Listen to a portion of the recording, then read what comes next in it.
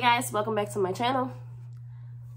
Um let's talk about these eyelashes. Um i am a ambassador for um Addix Cosmetics. They she makes um skincare body care stuff for men eyelashes. Um there's a little bit of fashion like accessories and stuff in there too. Um so these are some of the lashes that she sent me um, they are very dramatic. Um, I've gotten a lot of lashes from her, but this pair and let me see if I can find the other pair are like, oh my goodness, crazy. Where? Oh, I can't find it. Oh, yes I can. There it is. Okay. And then this pair. Like, look at how full that is. They just look like a bit much for me.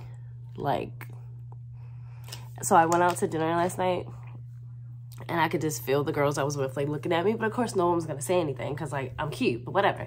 But like, they just look like the girls I make fun of. like, these are not my normal lashes. I think I left them in the bathroom.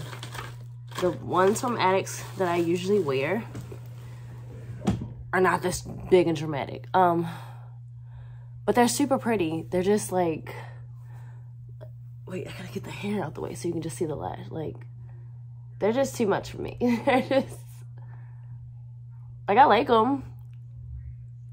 But, like, like from the side, they so cute. But from the front, you can't even see my eyelids. But I, I didn't even put on makeup on. I was like, no, I'm not gonna do my, because you're not gonna be able to see it. Like, it's so much.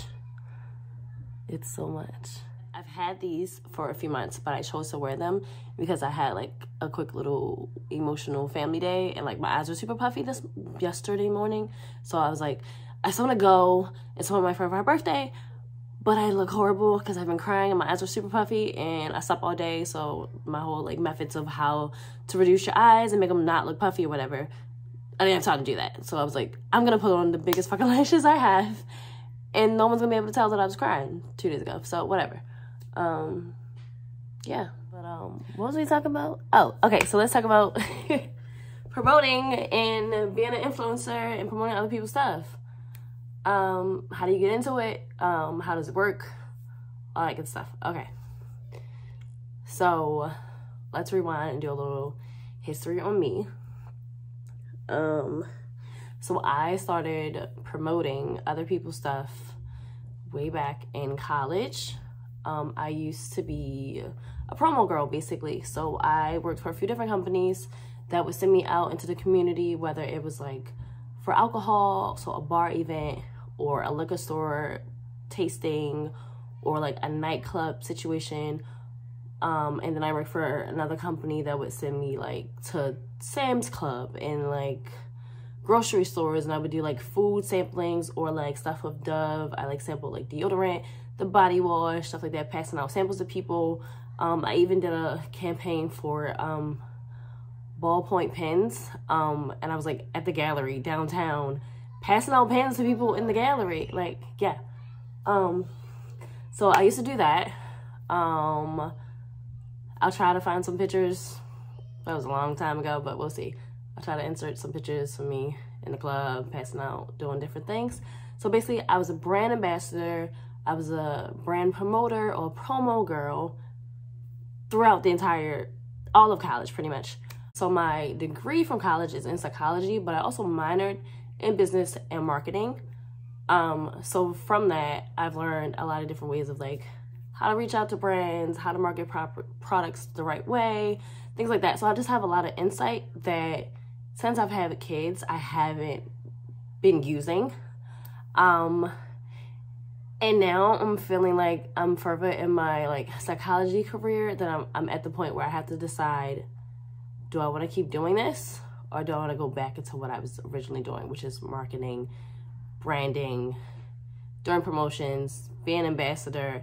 That stuff excites me. Psychology is slowly starting to not excite me anymore. So I'm at the point of where I'm trying to decide like, am I going to keep this up or I'm going to go back to what I used to do? So I'm basically at the point in my career in psychology where I need to decide if I'm going to further this career, go back to school, get my RBT or my master's or my BCBA, if I'm doing that and if I actually passionately want to do that, or if I'm more interested in the marketing side of things that I used to be into. Um, so while I'm trying to figure that out, I might as well let go of all this information that I have and pass it on to you guys. So that's what I'm gonna do. Hey guys, so here's where I started talking about influencing and getting more into detail, but I decided to just cut that and make that a whole separate video. Here are some pictures though of my night out. Uh, I hope you guys enjoyed. Thanks for watching. Remember to like, subscribe, and comment. I'll see you in the next video. Bye.